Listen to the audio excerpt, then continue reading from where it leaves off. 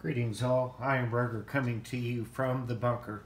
Today let's talk about I am Rugger's three favorite barter items for an intermediate term disruption of services scenario.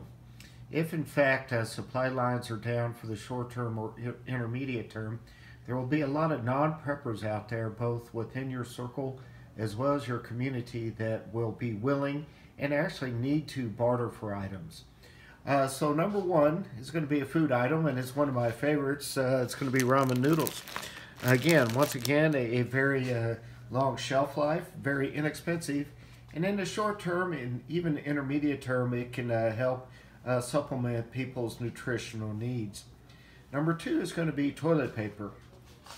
There have been times in history that uh, toilet paper has been as valuable as gold both during the collapse of the Soviet Union as well as Venezuela today, uh, those with toilet paper are able to trade it uh, for very valuable things.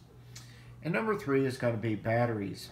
In an intermediate uh, grid down scenario, people are going to have a lot of electronics that are going to be running short on energy, especially the non-preppers. So keeping a good supply of batteries, uh, both for your own needs as well as for those uh, that may be in your circle or community is a good idea. Now as preppers, I know we like our threes, and this is I Am Rugger's top three barter items. But as preppers, we also like a bonus. And today I'm going to give you a bonus.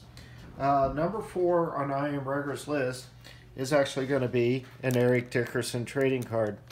Now you say Eric Dickerson trading card's not exactly what you would be thinking as a barter item, but the point here is sometimes novelty items uh, will come in very handy. Uh, certainly precious metals uh, could be a very good barter item, uh, but others, other things that with perceived uh, value also could come into play. So please keep this in mind as you're uh, doing your scenario analysis. And as always, be careful out there.